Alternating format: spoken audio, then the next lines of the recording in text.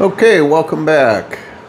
So today I'm going to do a review of uh, a series of cigars. This one's just one of them, but of the uh, what they call the TAA series. That's the Tobacco Association of America series of cigars that I think about 40 different cigar manufacturers um, participate in, and it, it's sort of their their lobby, so to speak. But uh, regardless how you feel about that, uh, every TAA cigar that I've had, no matter what the brand, has been excellent cigars. So uh, whatever they do, they make a different blend. It's always been really, really good. So, so we'll get into that. But of course, first we'll uh, we'll say hi to Liza. We got a special appearance from Waddy today. Waddy's in here. Being a little shy, but we got the uh, watch check. I had this one on the other day again too. This is the Seiko Premier.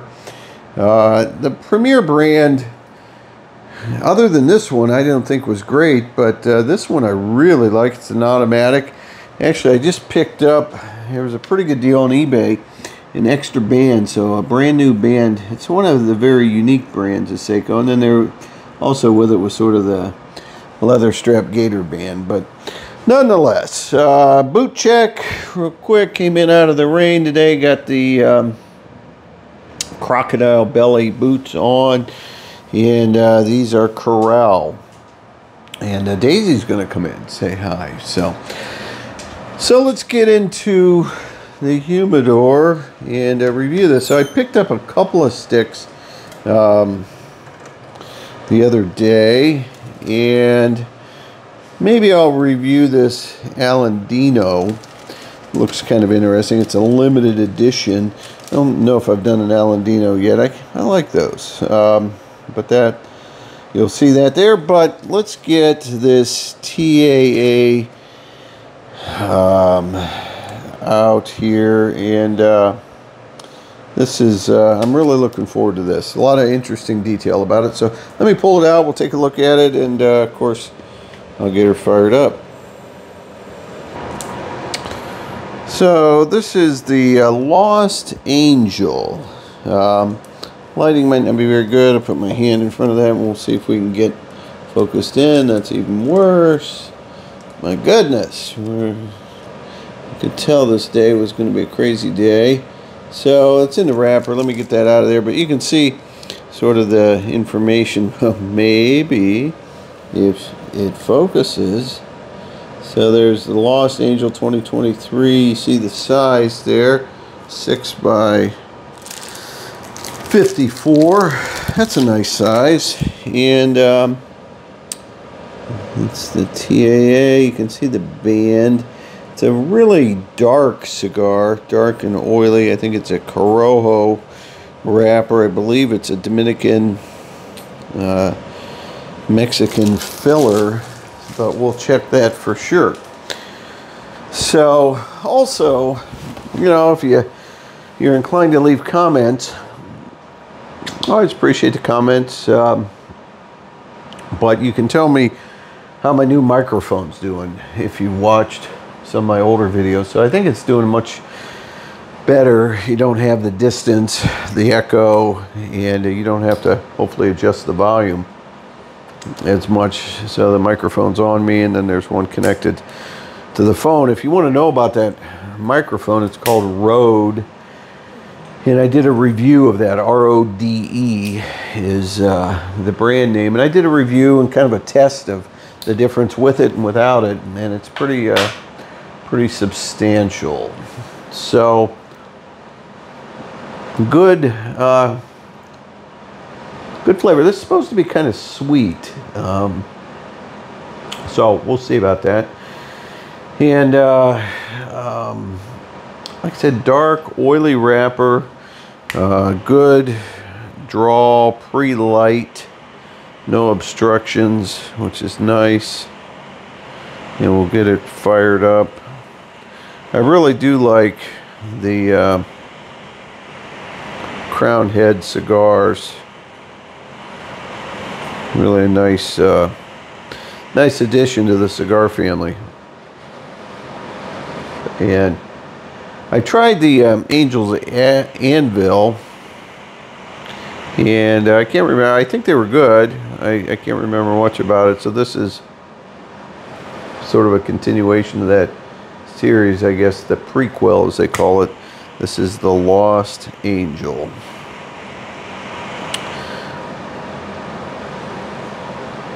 All right.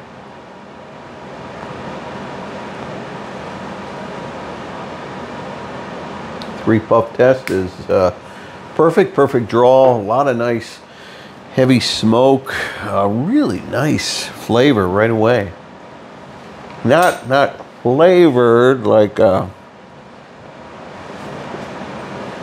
acid cigar, but you know how when you, you light a cigar and uh, hi Waddy, come on up.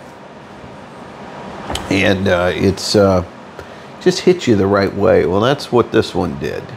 So it's, it's really good. Um, let me look it up here. Oh.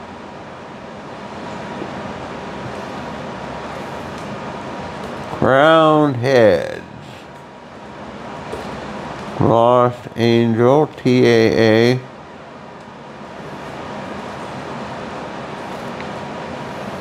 Twenty-three. So it just started arriving at stores here uh, last month. As I said, 6 by 54 Ecuadorian Sumatra hybrid C9 wrapper. I don't know what that means. Uh, hybrid C9, but um, I do tend to like the Ecuadorian wrappers. So Ecuadorian wrappers. So um, I think that's a good. That was a good sign when I heard it had that. Uh, it's got fillers from Dominican, Mexico, and Nicaragua. And um, it's made in the uh, Carrillo factory. So that's interesting. Carrillo I've had mixed success with. Uh, some of them I really like. I'll tell you, speaking of the TAA, if you get a chance to get the TAA and the Carrillo, those are phenomenal and they're a very good price point. So highly recommend those. Speaking of price point, this is about uh, 13 to $14 depending on your retailer.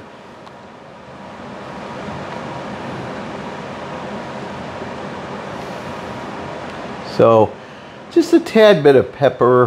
Uh, again, you've heard me probably say I'm not a big fan of pepper, but this one's not not overwhelming by any means, but it is rich. So it's a rich cigar, you know, kind of a rich tasting, not money rich, but but um,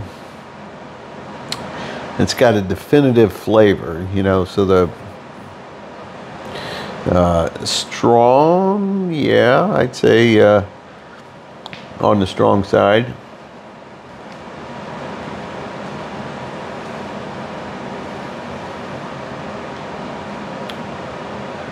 Too early to tell if I would really call it um, a definitive strong cigar. It's definitely uh, leaning that way. It's definitely at least a medium plus. So it's got some pretty good, pretty good flavor to it. Um, so the TAA, as I was talking about, is kind of interesting. I guess that's a membership group. Includes 40 manufacturers, and and they uh, they have a annual trade show.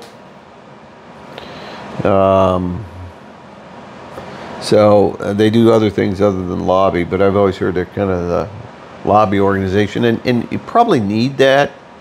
Uh, certainly in the United States, um, you know, depending on the public view of smoking, right? It's always uh,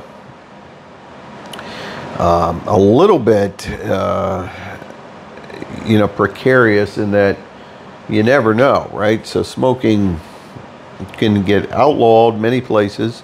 Uh, many places today you can't really go. You can't smoke indoors hardly anywhere unless it's a cigar shop. Um, maybe a smoke shop of some type, but um, even some outdoor and public you can't smoke. You can't go to sporting events and smoke. Um, the old uh, pictures of uh, baseball games had people smoking. Everybody had a cigar. So, so anyway, I guess my point is it's good to have um, some lobbyists there, so you have your voice heard or the industry's voice heard, uh, so that smoking and cigars don't get further further banned more than they already are. So I really do. I, this is a good cigar. And and again, the Crowned Heads I have good luck with. Uh, the TAA I've never had a bad one. So I'm not going to belabor it um, far enough into it that I already know it's a great cigar. So I don't know what kind of uh, rating I'd give it. But it, it's, you know, it's definitely at least a B plus cigar. Maybe an A cigar, I don't know. Waddy's coming back. They're getting anxious. His little buddy, the other puppy from up the road's coming over. Papa's bringing him. So it's going to get loud in here soon. So I will uh, likely wrap up here. But uh, let me know your thoughts if you tried these, what you think about the Crowned Heads. Um,